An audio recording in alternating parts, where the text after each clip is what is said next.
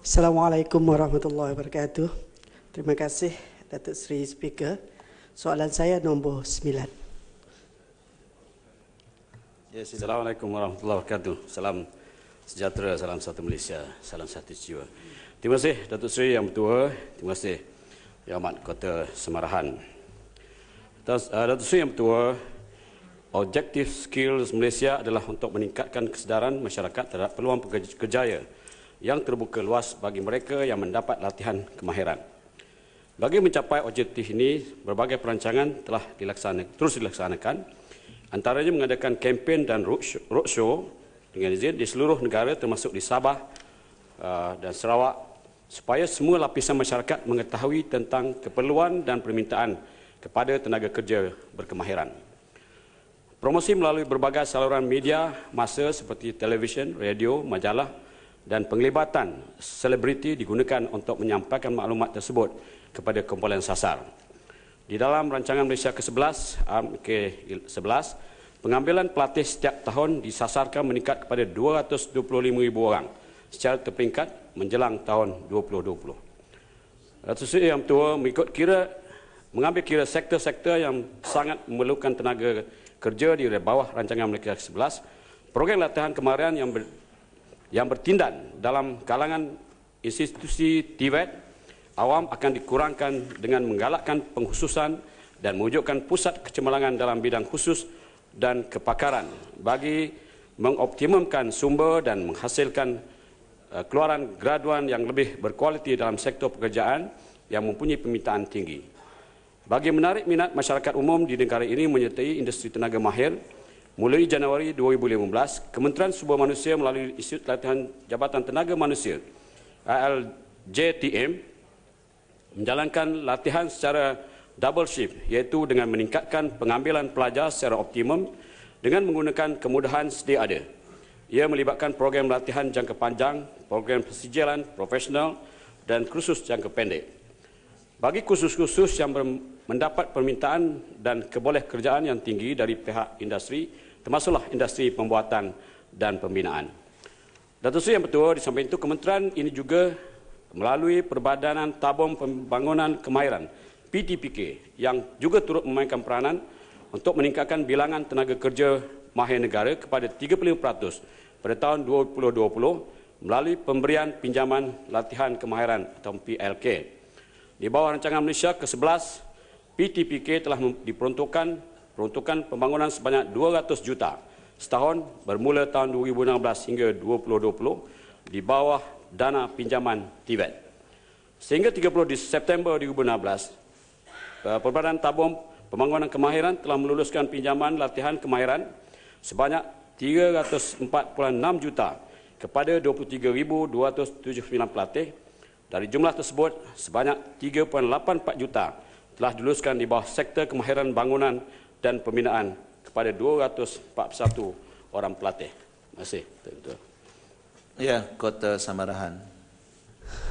Terima kasih uh, Datuk Seri Speaker. Terima kasih uh, uh, Menteri atas jawapan. Soalan tambahan, tambahan saya, apakah sektor ataupun industri yang berdepan dengan masalah dalam mendapatkan sumber tenaga mahir dan sejauh manakah pihak kementerian bersama-sama dengan majikan industri dan eh, lembaga pembangunan industri pembinaan CIDB bagi memastikan pekerja mahir di pembina di tapak pembinaan mempunyai kemahiran dan apakah sasaran kementerian bagi merealisasikannya. Terima kasih.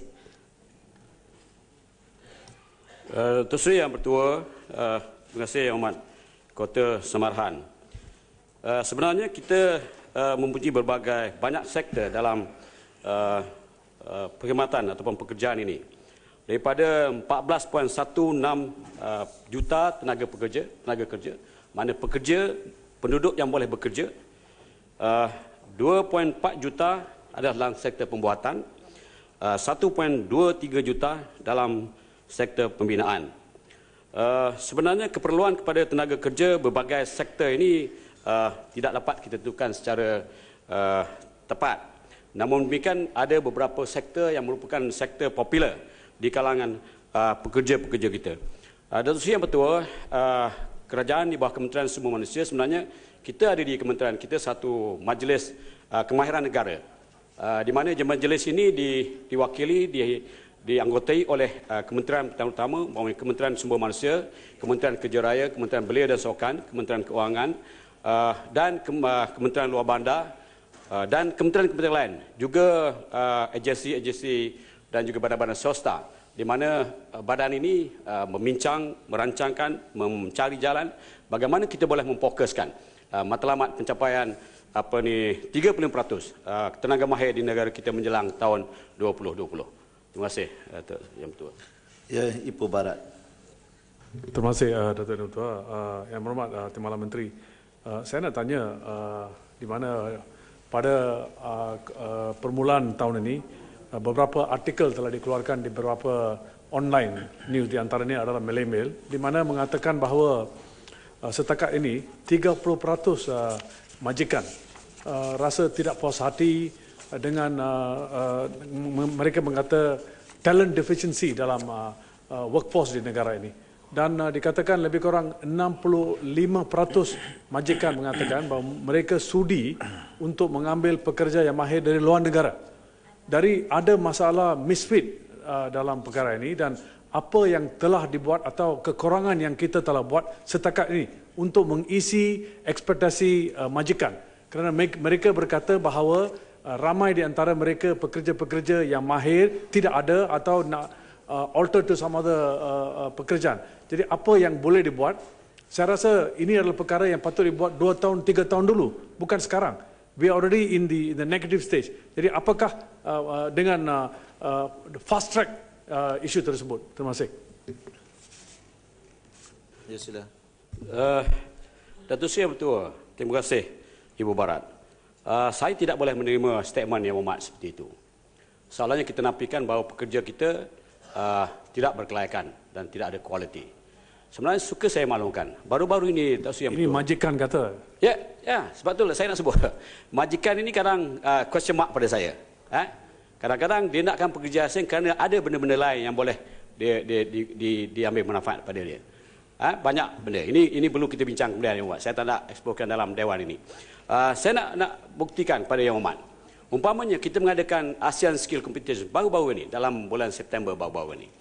Daripada 25 bidang kemahiran yang kita pertandingkan dan kita masuk 20 bidang kita dapat emas. Kita berbanding bertanding dengan 10 negara ASEAN dan hakim-hakim, pakar-pakar bukan daripada negara Malaysia. Satu orang daripada negara Malaysia, yang lain semua daripada negara lain. Bermakna ini membuktikan bahawa pekerja kita adalah mempunyai kualiti. Kenapa kita nak afikan pekerja kita? Ya mak jangan janganlah politik sangat mak. Kesian pekerja kita. You nafikan pekerja kita. Jadi saya harap eh, sepatutnya yang berikan sokongan kepada kita. Banyak program-program yang kita lakukan untuk meningkatkan tu upskilling, uh, reskilling apa pekerja-pekerja ini dengan tujuan untuk kita melahirkan pekerja mahir dan kita boleh bersaing dengan negara-negara lain. Dan kalau tengok memang jelas kepada kita. Bahkan hari ini yang Muhammad, kita telah mencapai juga kejayaan di peringkat uh, World Ski Competition di mana saya bersama dengan mereka. Daripada 50 lebih negara yang menjadi World Ski Competition, kita berada di negara ke-20. Maknanya tidak hebat, tidak tidak tidak lekeh Malaysia ini. Sebab itulah saya minta Ya Ahmad bila ada statement yang dikeluarkan oleh majikan sebenarnya majikan dia ada benda-benda lain yang mungkin dia nak cari jalan supaya mereka lebih untung dengan mengambil pekerjaan dan saya tidak izinkan perkara ini berlaku. Ha? minta maaf kerajaan dan kementerian tidak izin perkara ini berlaku dan kita tidak menggalakkan supaya pekerja kita diberi peluang melalui kemahiran-kemahiran yang kita sediakan. Terima kasih. Ya